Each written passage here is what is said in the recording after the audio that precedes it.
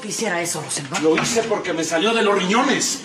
Ya le dije que los trabajadores están muy descontentos porque tenían que llevar el ganado a brevar hasta el río. Me habían amenazado con pedir un aumento de sueldo. Y usted decidió que era más fácil tirar la cerca de los montesinos para que el ganado siguiera yendo a beber agua allá a la laguna. Sí. Sí, sí, pero sobre todo lo hice para demostrarle a José Miguel Montesinos que su amenaza va en serio, patrona. Para que vea que con usted no se juega. Pues esa no es la forma. Ah, no. Pues entonces dígame usted cuál es. Porque una cosa le aseguro. A ese perfumado no lo va a espantar con palabritas que a él le valen sorbete. Bueno, tal es así que está a punto de comprar unas muy buenas cabezas de ganado para empezar a echar a andar su hacienda. ¿Y usted cómo se enteró? Por favor, aquí todo se sabe. Y déjeme decirle otra cosa. Si el negocio le funciona, ya no va a haber poder humano que lo haga largarse de aquí. Y hasta puede que con el tiempo nos haga la competencia.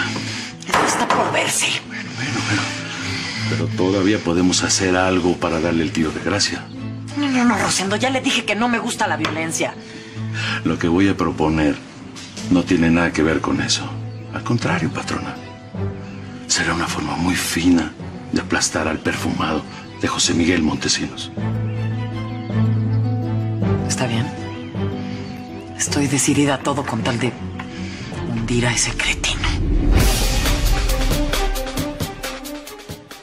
Le advierto que lo que le voy a proponer le va a costar su buen dinero. No sé si usted esté dispuesta a pagarlo. El dinero es lo que menos me importa. Lo único que quiero es que nadie vaya a salir lastimado. Solamente el orgullo de José Miguel Montesinos, patrona. Ya, déjese de rodeos y hable ya. Como usted ordene, patrona. ¿Cómo que quiere deshacer el trato si aquí está el dinero? Pues sí, señor, pero el ganado que le había prometido ya lo vendí. Se lo acaban de llevar. No, claro que no. Usted no puede salirme ahora con eso, don Sancho. Usted me dio su palabra. Sí, señor Montesinos, pero este cliente me ofreció el doble que usted. Y como comprenderá, no pude negarme. Dígame, qué poco hombre sus... Cálmate, José Miguel. ¿Cómo quieres que me calme, Sabino?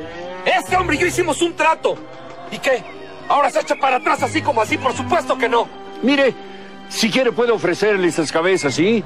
El problema es que apenas son unos becerros y va a tener que esperar un par de años para que las, las hembras queden preñadas. Esto es una burla. No me interesan sus sobrantes. ¿A quién le vendió el ganado? Hable, don Sancho. De todos modos nos vamos a enterar. Por lo menos tenga la hombría de decir quién se las compró. Bueno, ¿ya quién se las compró? Tampoco tengo por qué ocultarlo. Valentina Villalba, la dueña de los cascabeles.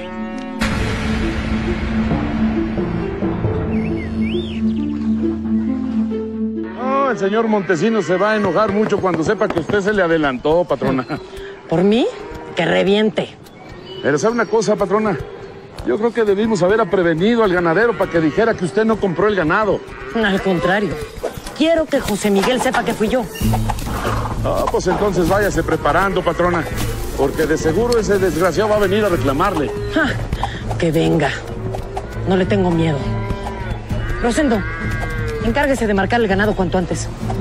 Yo voy a ir a la empacadora a pagarle a los trabajadores. No, no, no, no, a mí no me gustaría que usted fuera sola para allá, patrona. No se le vaya a aparecer ese mendigo. Me basto sola para recibirlo. Ah, bueno, entonces le voy a decir a Filadelfo que vaya con usted, para que le ayude con lo de la raya. Está bien. Dígale que lo espera en la empacadora. ¡Órale, Aniceto! ¡Muévete! ¡Oro! ¡Oro! ¡Vámonos! ¡Quédense, Aniceto! ¿Ya está listo el dinero de la raya? Sí, patrona, ya lo tiene el gerente. Tenga todo listo, voy a hacer un recorrido. Está bien. Fírme dónde está su nombre. Gracias. ¡Valentina Villalba!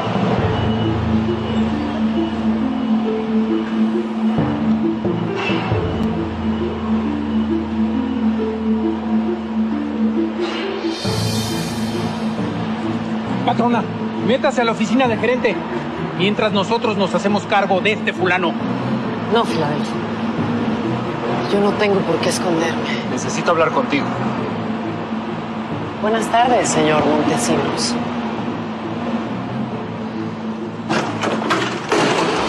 Te dije que necesito hablar contigo. Así que viene a mi empresa a hacer alarde de sus buenos modales.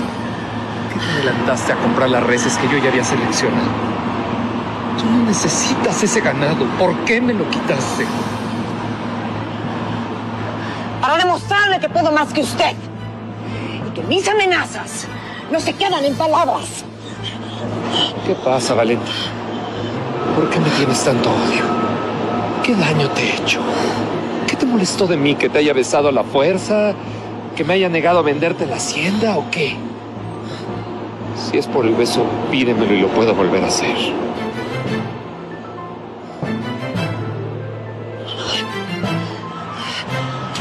Es usted. Un verdadero patán.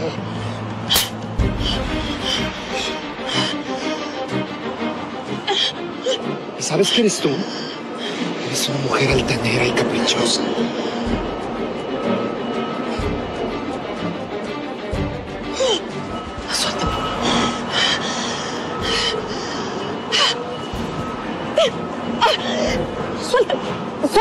Sí. Te voy a soltar cuando te disculpes conmigo delante de todos.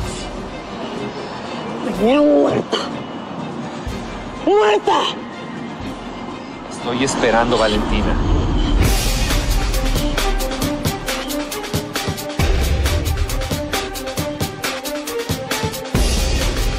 ¡Suéltame! ¡Suéltame! Me lastimas. Suéltame.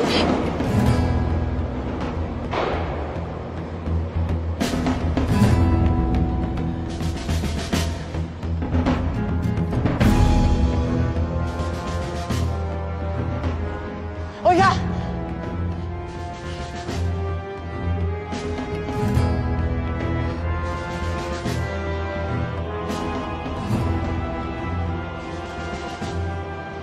Todos ustedes son unos cobardes. No se atrevieron a mover un solo dedo para defenderme. Y eso que la que les paga por trabajar aquí soy yo. ¡Hombres! Perdone que se lo diga, pero usted está acostumbrada a humillar a la gente. Y todos algún día podemos reaccionar del mismo modo.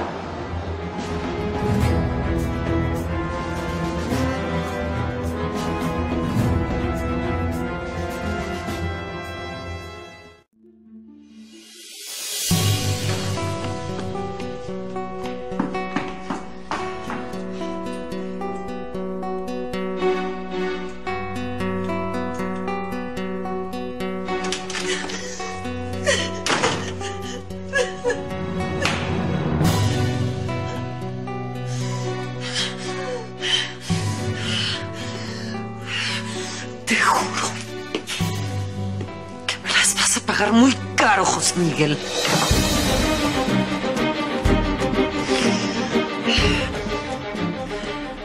Pasamos los dos la adversidad, desafiamos también mil tempestades para poder vivir un madrigal. Llegamos con las alas ya cansadas, las alas cansadas de volar, por montañas, por valles y cañadas, pero con muchas ganas de cantar.